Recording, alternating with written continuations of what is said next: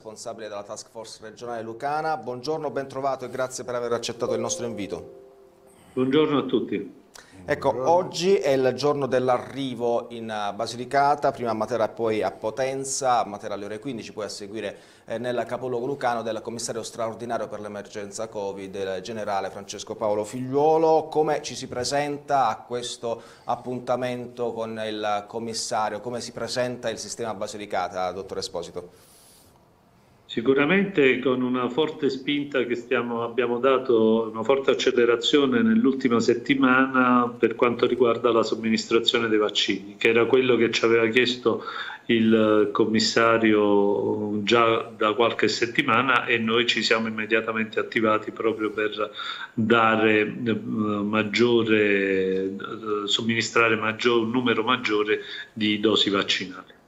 Ecco, buona performance negli ultimi giorni, dottore, eh, ma il numero, il rapporto tra dosi consegnate e dosi somministrate rimane eh, sempre abbastanza basso rispetto agli altri delle, delle regioni, agli altri rapporti. Mm, cosa metterete in campo per aumentare ancora il numero di vaccinazioni anche in vista del target che ha fornito il eh, commissario straordinario Figliuolo, ossia quello di 21.700 dosi nel periodo 16-22 aprile, mentre quello giornaliero è di 3.100. Metterete in campo altre strategie per aumentare questi vaccini? Esterno, giorno. Un uomo si aggira silenziosamente in un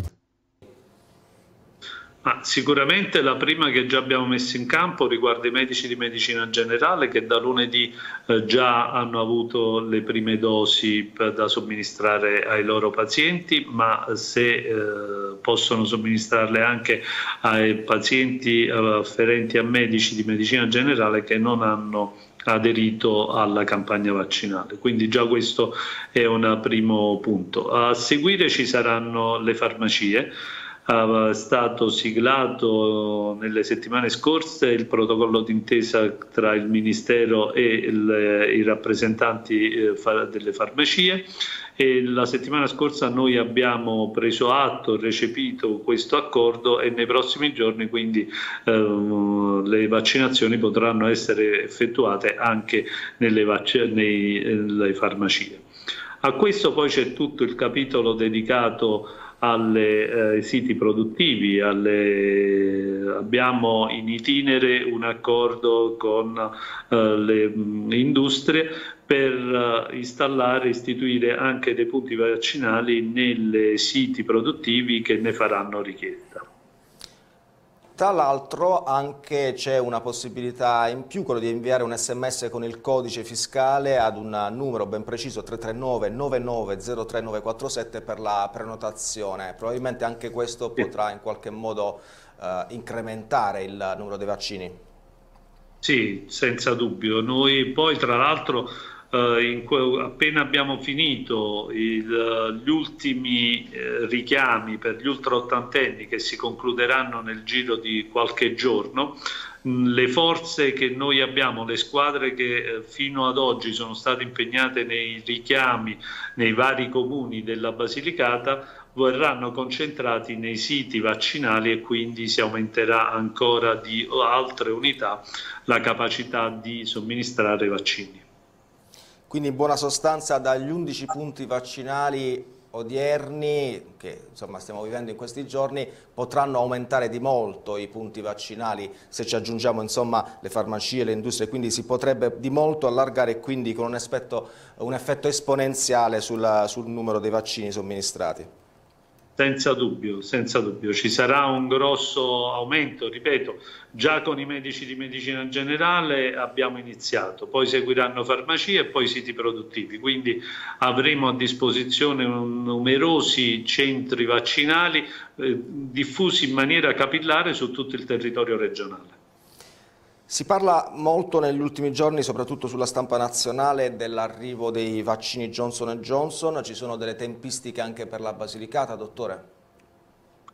Eh, prevediamo l'arrivo a inizi del mese di maggio. I primi arrivi erano previsti per il 16 uh, aprile ci sono stati dei motivi burocratici che hanno rallentato, per l'inizio di maggio avremo probabilmente anche le dosi vaccinali di Johnson Johnson. E poi dal 27 di aprile anche nell'ospedale Madonna delle Grazie di Matera, da qui passo eh, dai vaccini a un altro tipo di terapia che è quella degli anticorpi monoclonali, sarà possibile eh, avere questo tipo di eh, terapia per l'appunto in pazienti Covid non ospedalizzati e non in ossigenoterapia.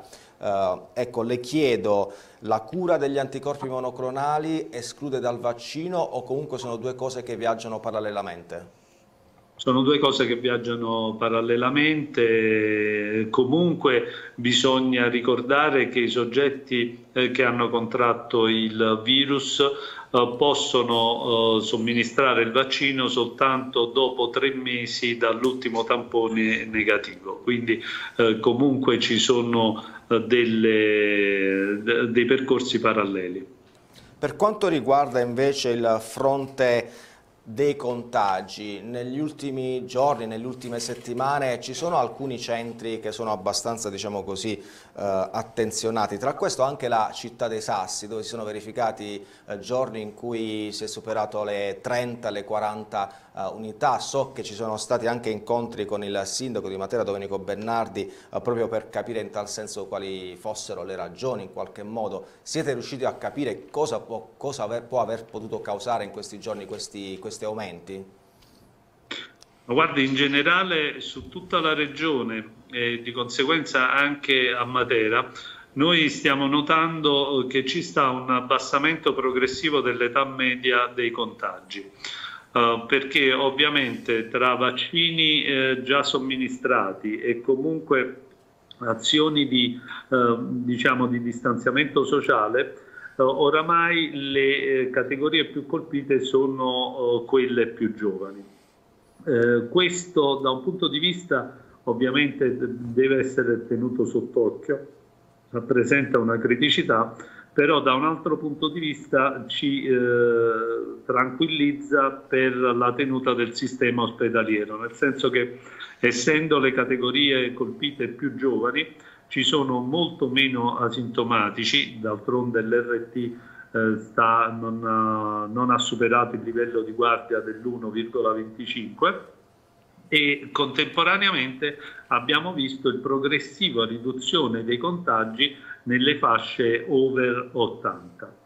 La situazione di Matera in particolare la teniamo sotto controllo perché effettivamente ci sono state delle punte molto critiche nei giorni scorsi, ci sentiamo costantemente con il sindaco e con l'assessore del comune di Matera e stiamo monitorando la situazione. Mm, credo che però il picco che era quello della settimana scorsa forse lo abbiamo superato. Stiamo attenti in questo weekend e cercheremo anche di superare quest'altro uh, momento difficile. Eh, tra le altre zone che mi sembrano eh, diciamo così, sotto controllo da parte vostra anche eh, il Vulture con eh, Lavello, Rio Nero, insomma anche lì ci sono delle situazioni di, di picco, se no, non sbaglio dottore, eh, abbastanza preoccupanti. Sì, abbiamo superato la soglia, in particolare a Lavello, dove abbiamo proposto l'istituzione di una zona rossa proprio nel comune di Lavello.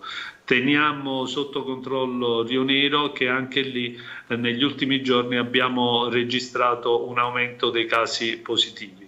Um, tutto questo però sempre nelle, uh, con un'età media che si è abbassata notevolmente, stiamo intorno ai 48 anni, oramai l'età media di coloro soggetti uh, che hanno contratto il virus. Quindi come si vede è un abbassamento notevole e questo però eh, comunque eh, ci impone un livello di guardia molto alto, specialmente in queste zone. Ecco, per chiudere, eh, dottore, lei dice si è abbassata l'età media, vi siete fatti un'idea del perché si è abbassata questa età media? Si è abbassata l'età media perché eh, noi abbiamo oh, vaccinato e messo in sicurezza tutti gli ultra ottantenni. Contemporaneamente il, la diffusione delle varianti che sono molto più contagiose, hanno un tasso di contagio superiore a quello della, della prima forma di eh, Covid, eh, si sta diffondendo molto tra i giovani, che tra l'altro sono quelli che più difficilmente rispettano le, le dovute distanze sociali, che rispettano i, i divieti imposti dalla pandemia. Bene, grazie per, per quanto ci ha detto, dottore. Le auguro una, una, buona giornata, oggi immagino sarà una giornata impegnativa per voi, quindi buona giornata e buon lavoro. Grazie, arrivederci.